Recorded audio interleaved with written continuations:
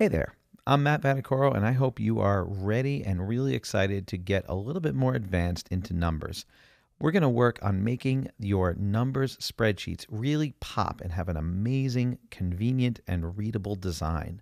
Numbers is so much more than just a spreadsheet. There's so many design elements that make it so that the things that you're looking at are not necessarily, well, a whole page full of numbers.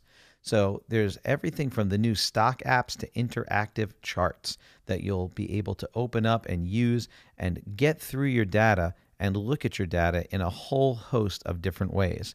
We'll go into table menu functions, commenting, working with people, image masking and alpha, everything from including images and objects in your charts to creating charts that utilize one single cell and creating charts that utilize live stock data and also how to make it easier to view your data by using header rows, advanced data formats, and conditional highlighting.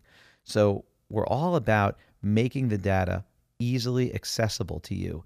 This whole course is going to really focus on how to get this data into your hands or onto other people's eyes and in their minds as quickly as possible and make it as memorable as possible. So hopefully you have a good handle on how to get around in numbers, work with a basic spreadsheet, and make some basic formulas. I'm going to assume that that's what you know how to do already, and I'm going to take it from there. So without any further ado, let's dive in.